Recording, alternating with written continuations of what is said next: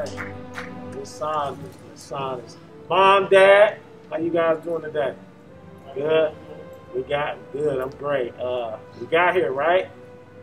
Despite everything, it's been a long time. Uh, despite everything, COVID, everything, we were able to get get your baby here to the finish line. Yeah, absolutely, absolutely. So I'm excited to stand here uh, to present your daughter with her high school diploma. Uh, she's done, she's done a wonderful job. She looks beautiful. Uh, you know, and, and, and, we're excited. We're excited to be able to do that uh, for her. So uh, before I actually present you with this diploma, I just want to ask you, what's your plans uh, after you get it?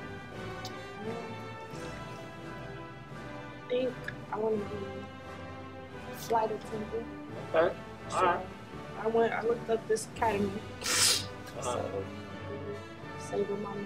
So. all right. Cool. So, mom, uh, uh, dad, again, thank you. Uh, you know, she she's done a wonderful job, and you know, family and friends. I know this is not the a traditional graduation uh, where she walks across the stage, but due to the circumstances, we're gonna still get it in anyway.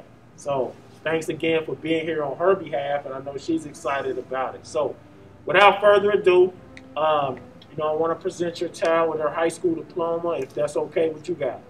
All right. So, Ms. Saunders, I appreciate you so much. Uh, make, make sure you come back, uh, see us. If you know anybody looking to get a high school diploma, you know where to send them because this is what we do. Okay, we make dreams come true. So hopefully we made your dream come true by getting this high school diploma. You worked so hard, and I want to present you this high school diploma today. Happy, excited, What's the thing mean to you? Um, supporting. I'm happy my friends here and my mama and daddy here. But um, I made it. I did it. What did. Dohn do for you? Huh? What did Dohn do for you? Helped me a lot. Worked with me? Was patient with me. Took me a long time, but they was patient and helped me. And particularly in COVID, what kind of COVID challenges were that, got you to this day, and how did Dohn help you with that, with the COVID situation? Um,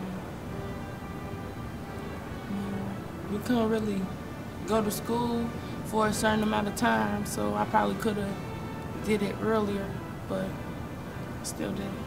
So And what's next for you? um, I want to be a flight attendant. Thank you.